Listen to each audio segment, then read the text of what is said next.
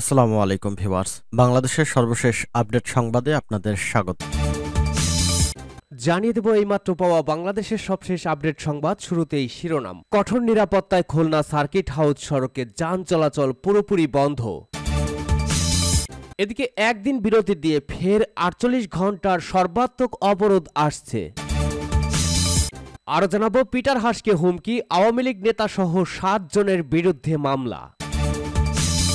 এরপর জানাবো বিএনপির কেন্দ্রীয় কার্যালয়ের সামনে ভিপি নূরের মিছিল এদিকে রাজধানীতে ছাত্রদলের বিক্ষোভ সড়ক অবরোধ পুলিশের হামলা এবং সর্বশেষ জানাবো গুম খুনে বিচারহীনতায় ভেঙে পড়েছে জন আস্থা এতক্ষণ শুনছিলেন গুরুত্বপূর্ণ সংবাদগুলো শিরোনাম এবারে বিস্তারিত আজকের সংবাদ সম্পর্কে আপনার মূল্যবান মতামত লিখে জানান জানিয়ে দিন কোন স্থান থেকে আমাদের সংবাদ শুনছেন অথবা দেখছেন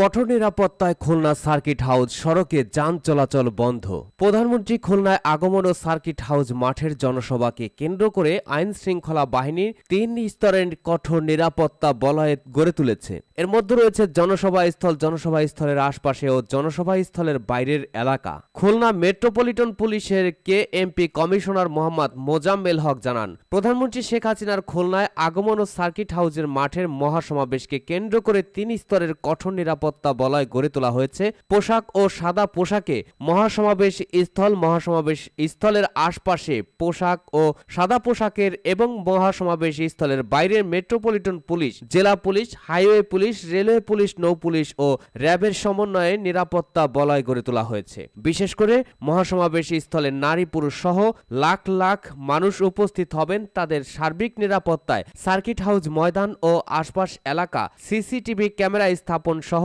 সব ধরনের ব্যবস্থা গ্রহণ করা হয়েছে এছাড়া খুলনা সার্কিট হাউস মাঠে আওয়ামী লীগের জনসভাকে কেন্দ্র করে নগরীর যান চলাচল নিয়ন্ত্রণ করেছে খুলনা মেট্রোপলিটন পুলিশ সোমবার ভোর থেকে সার্কিট হাউস মাঠমুখী সব কটি সড়কে যান চলাচল বন্ধ প্রায় অন্য সড়কগুলোতেও যান চলাচল নিয়ন্ত্রণ করছে পুলিশ এতে সড়কে যানবাহনের সংখ্যা অনেক কমে গেছে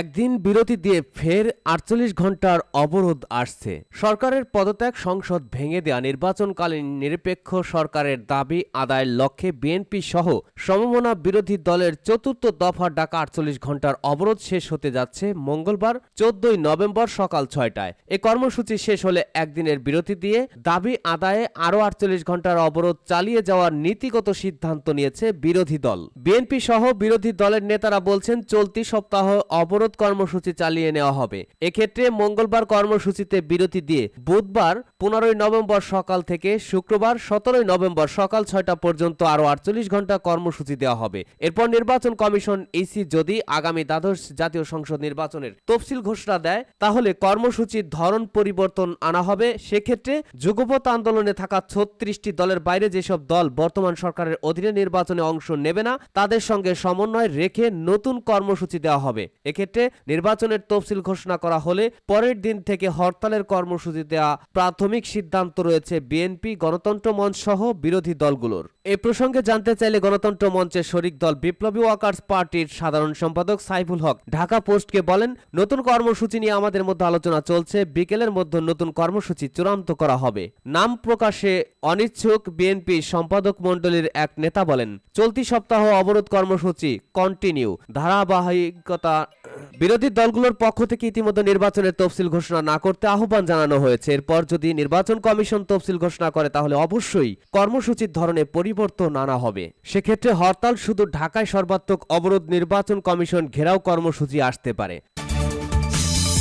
পিটার হাসকে হুমকি আওয়ামী লীগ নেতা সহ সাতজনের বিরুদ্ধে মামলা ঢাকায় নিযুক্ত যুক্তরাষ্ট্রের রাষ্ট্রদূত পিটার হাসকে পেটানোর হুমকি দেওয়ার অভিযোগে চট্টগ্রামে বাঁশখালীর চাম্বল ইউনিয়নের চেয়ারম্যান ও ইউনিয়ন আওয়ামী লীগের আহ্বায়ক মজিবুল হক সহ সাতজনের বিরুদ্ধে ঢাকার আদালতে মামলা হয়েছে সোমবার তেরোই নভেম্বর ঢাকার মেট্রোপলিটন ম্যাজিস্ট্রেট ফারজানা শাকিলা সুমু চৌধুরীর আদালতে আন্তর্জাতিক মানবাধিকার কমিশন বাংলাদেশ চ্যাপ্টারের president M A Hashem Raju এই মামলা মামলার আবেদন করেন মামলায় ওই ইউপি চেয়ারম্যান সহ চাম্বল ইউনিয়ন পরিষদের ইফতেখার উদ্দিন বাবু সাজ্জাদ এহসান ফরহাদ নাসির ও সাইফুলকে আসামি করার আবেদন করা হয়েছে মামলায় আসামিদের বিরুদ্ধে দ্বন্দ্ববিধির পাঁচশো পাঁচশো ছয় তিনশো সাত ও পঁয়ত্রিশ ধারার অভিযোগ আনা হয়েছে এবং আসামিদের গ্রেপ্তারের আবেদন করা হয়েছে মামলার আবেদনে বলা হয় গত ছয় নভেম্বর বাঁশখালীর এক জনসভায় মজিবুল হক চৌধুরী সকল আসামির উপস্থিতিতে এবং সহযোগিতায় যুক্তরাষ্ট্রের রাষ্ট্রদূত পিটার পিটার হাসকে হুমকি দেন তিনি পিটার হাসকে প্রাণ প্রাণে মেরে ফেলার হুমকি দেন এবং অশালীন মন্তব্য করেন যা আটই নভেম্বর বিভিন্ন পত্রিকায় প্রকাশিত হয় এছাড়া মার্কিন যুক্তরাষ্ট্রের প্রেসিডেন্ট জো বাইডেন সহ আন্তর্জাতিক খ্যাতি সম্পন্ন অর্থনীতিবিদ ড মোহাম্মদ ইউনুস সম্বন্ধেও কুরুচিপূর্ণ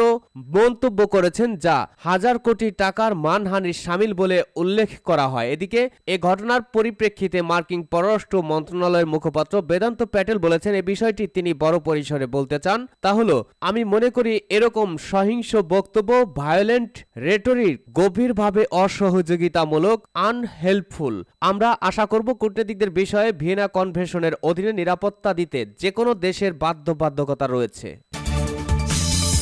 বিএনপির কেন্দ্রীয় কার্যালয়ের সামনে ভিপি নূরের মিছিল বিএনপিকে অভয় দিতে দলটির নয়াপল্টনের কেন্দ্রীয় কার্যালয়ের সামনে সড়কে বিক্ষোভ মিছিল করেছে যুগপথ আন্দোলনের শরিক গণ অধিকার পরিষদ বিএনপি সহ বিরোধী দলগুলোর দেশব্যাপী চলমান চতুর্থ দফার আটচল্লিশ ঘন্টা অবরোধের সমর্থনে সোমবার তেরোই নভেম্বর এই মিছিল করেছে নুরুল হক নূরের নেতৃত্বাধীন গণ অধিকার পরিষদের নেতাকর্মীরা গত আঠাইশ অক্টোবর ঢাকায় বিএনপির মহাসমাবেশে সংঘর্ষের ঘটনার পরদিন থেকে নয়াপল্টনের দলটির কেন্দ্রীয় কার্যালয় তালাবদ্ধ রয়েছে কার্যালয় এখন কার্যত পুলিশের নিয়ন্ত্রণে অবরোধ সমর্থনে বেলা সাড়ে এগারোটার পর বিজয়নগর পানির ট্যাঙ্কির সামনে থেকে নুরুল হক নুরের নেতৃত্বে বিক্ষোভ মিছিল বের করে গণ অধিকার পরিষদের পর মিছিলটি পল্টন মোড় ঘুরে নাইট অ্যাঙ্গেল মোড় হয়ে নয়া পল্টনে বিএনপির কার্যালয়ের সামনে দিয়ে অগ্রসর হয় তারপর ফকিরাপুল মোড় ঘুরে পুনরায় বিএনপি কার্যালয়ের সামনে দিয়ে নাইট অ্যাঙ্গেল মোড় হয়ে বিজয়নগর পানির ট্যাঙ্কির সামনে দিয়ে শেষ হয় রাজধানীতে ছাত্রদলের বিক্ষোভ সড়ক অবরোধ পুলিশের হামলা চতুর্থ দফা দেশব্যাপী সর্বাত্মক অবরোধের দ্বিতীয় দিনে রাজধানীতে বিক্ষোভ মিছিল করেছে জাতীয়তাবাদী ছাত্রদল সকালে সচিবালয় সংলগ্ন তোপখানা রোড থেকে পুরনো পল্টন পর্যন্ত মিছিল করেন সংগঠনটির নেতাকর্মীরা এতে নেতৃত্ব দেন ঢাকা বিশ্ববিদ্যালয় ছাত্রদলের সাবেক আহ্বায়ক ও কেন্দ্রীয় সংসদের সিনিয়র যুগ্ম সাধারণ সম্পাদক রাকিবুল ইসলাম রাকিব ছাত্রদলের এই নেতা অভিযোগ করেন মিছিল শেষে রাস্তায় বসে অবরোধের সমর্থনে নেতাকর্মীরা বিভিন্ন স্লোগান দেন এ সময় সচিবালয়ের পাশ থেকে পুলিশ ও সাদা পোশাকধারীর ডিবির সদস্যরা অতর্কিত হামলা চালায় গুম খুনে বিচারহীনতায় ভেঙে পড়েছে জন আস্থা বাংলাদেশ স্বাধীনভাবে ন্যায় বিচার ক্ষমতা নিয়ে গুরুতর সন্দেহ তৈরি হয়েছে গুম খুনে ভেঙে পড়েছে জন আস্থা জাতিসংঘ মানবাধিকার সংস্থায় ইউনিভার্সাল পিরিয়ডিক রিভিউ বা ইউপিআর এর জন্য প্রকাশ হয়েছে এমনই এক সার সংকলন সুইজারল্যান্ডের জেনেভায় স্থানীয় সময় সোমবার তেরোই নভেম্বর সকাল নয়টায় বৈঠকে বসেছে জাতিসংঘের মানবাধিকার সংস্থার চতুর্থ সর্বজনীন নিয়মিত পর্যালোচনা বা ইউপিআর সাড়ে তিন ঘন্টার বৈঠকে বিভিন্ন প্রশ্ন ও সমালোচনার জবাব দেওয়ার সুযোগ থাকবে এই অধিবেশনে বাংলাদেশের প্রতিনিধি দলের নেতৃত্ব দিচ্ছেন আইনমন্ত্রী আনিসুল হক প্রশ্ন উত্তরের ভিত্তিতে পনেরোই নভেম্বর ইউপিআর সুপারিশ মালা প্রণয়ন হবে এর আগে প্রকাশিত ইউপিআর আর সংকলনে বলা হয়েছে বিচার বহির্ভূত হত্যা ও গুমের ঘটনায় আইন প্রয়োগকারীদের দায় মুক্তি ও বিচার বিভাগের স্বাধীনতা নিয়ে গভীর উদ্বেগের কারণে জনগণের আস্থা ভেঙে পড়েছে এজন্য গুম খুন বিচার বহির্ভূত হত্যার অভিযোগগুলো আন্তর্জাতিক মানের তদন্ত করতে স্বাধীন পক্ষপাতহীন ও বিশেষায়িত প্রতিষ্ঠান প্রতিষ্ঠা প্রতিষ্ঠার সুপারিশ করেছে জাতিসংঘের প্রতিনিধি দল